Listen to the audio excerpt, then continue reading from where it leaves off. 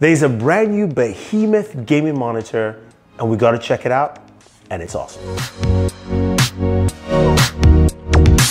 So you guys know Samsung has been pushing 49 inch gaming monitors and this is the fourth generation of the Samsung Odyssey line. We got to check out the brand new Samsung Odyssey Neo G9. Now this is a 49 inch gaming monitor. The resolution is uh, 5120 by uh, 1440. It's kind of weird, but it's basically two 1440 monitors stacked together, ultra wide, really crazy. Now this thing packs in a lot of great specs. So you've got a thousand R curve radius, you've also got 240 hertz, one millisecond response time, also supports NVIDIA G-Sync and AMD uh, FreeSync Pro Plus or Premium, if you will.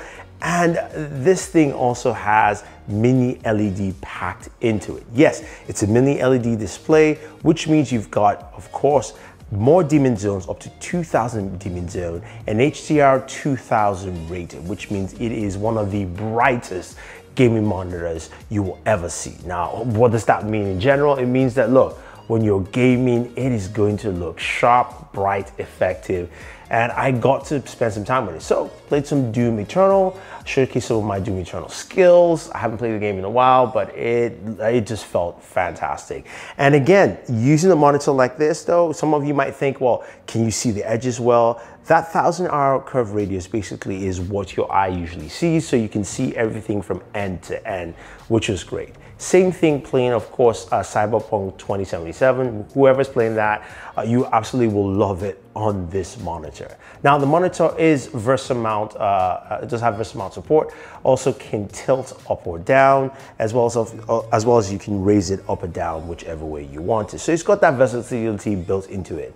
Now, the other thing is that this monitor supports HDMI 2.1. Yes, so you can definitely connect this to your PlayStation 5 or your Xbox Series X or Xbox Series S to get the full amount of gameplay. Now, I didn't get to do that, but once I get it in, I will definitely be testing it out on those feature sets.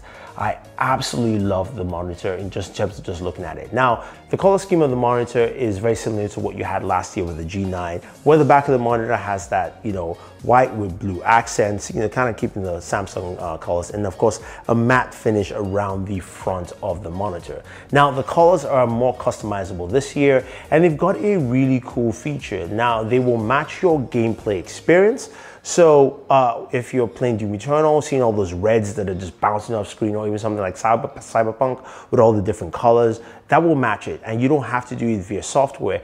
It uses the HDMI 2.1 connection port. So especially with your gaming consoles, you're gonna be getting some really cool RGB color sequence there as well, which is really cool. Now, what about price? Now, this is gonna retail roughly for around 2400 uh, and pre-orders will start on the 29th of July uh, and should be coming out pretty soon. I can't wait to check it out myself though.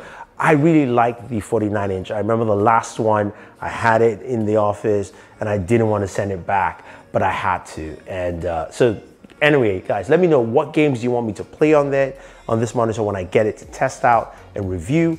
Uh, leave your thoughts down below. Do you own a previous uh, Samsung Odyssey monitor? Would you like to see some of these features even in the G7? Are you picking one up? I want to hear it from you guys. Leave it down below. Otherwise, don't forget to like, share, subscribe, and always enjoy your entertainment.